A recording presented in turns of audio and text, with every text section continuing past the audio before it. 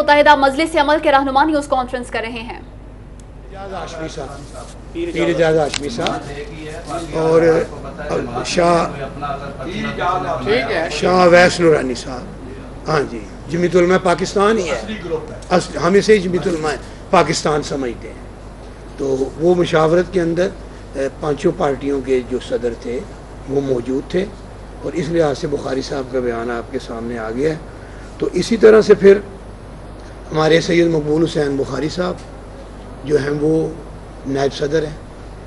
اسلامی تحریک کے شوکت شوکت علی صاحب۔ شوکت علی صاحب یہ ہمارے نائب صدر ہیں۔ اور جیسے ریاض دورانی صاحب کا آ گیا ہے۔ اور جمیعت مرکزی جمیعت اہل حدیث سے نائب صدر کون ہوں گے پھر؟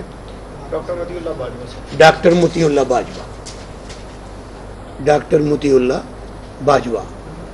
یہ ہمارے چار نائب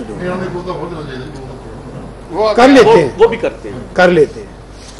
اچھا اسی طریقے سے سیکرٹری جنرل جیسا کہ میں نے کہا کہ امتیاز مجاہد ایڈوکیٹ صاحب اور ان کے ساتھ جو ہیں وہ چار ڈپٹی سیکرٹری جنرلز ہیں۔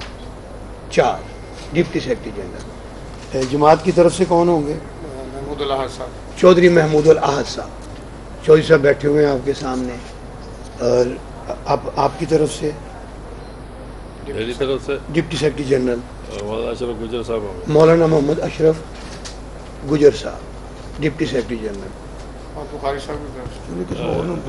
نہ دے دینا۔ دے اچھا۔ جی بخاری صاحب آپ کے ڈپٹی سیکرٹری جنرل کون ہوں گے؟ متحدہ مجلس عمل کے رہنما نیوز کانفرنس کر رہے ہیں جو آپ ملاحظہ کر رہے تھے۔